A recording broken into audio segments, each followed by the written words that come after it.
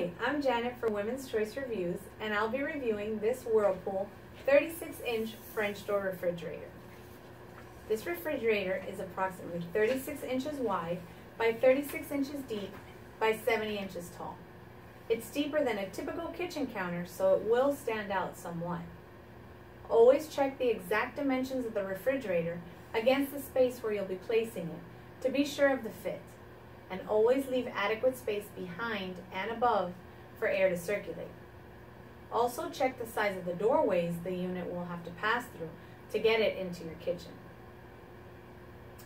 With total capacity of 25.76 cubic feet, this unit is about average for the 36 inch French door units we've evaluated. It is one of the more expensive French door refrigerators on a cost per cubic foot basis with its MSRP of $3,400.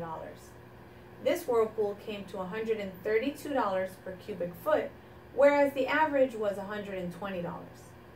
It's important to note, however, that some refrigerators are more heavily discounted than others, which can complicate this comparison.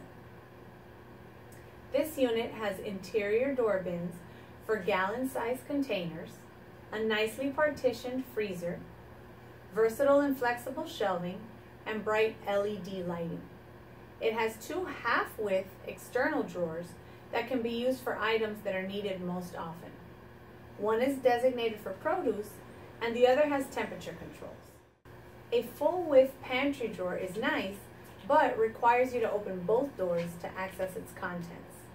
There are two ice makers, one on the door with a water dispenser and another in the freezer compartment. The freezer has a pizza pocket that stores large frozen pizzas on edge to save space and improve access to them.